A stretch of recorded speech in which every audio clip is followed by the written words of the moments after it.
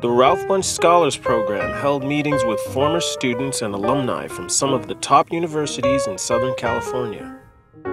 Schools like the University of California Irvine, USC, and UCLA.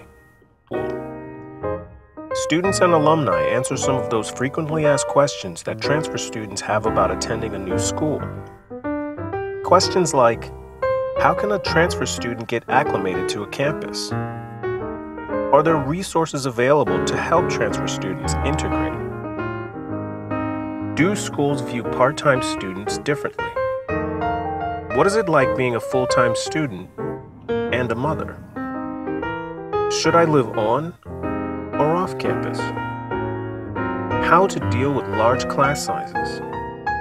And what are the benefits available to me as a Ralph Bunche Scholar? All this, plus more advice from alumni and former students of the Ralph Bunche Scholars Program.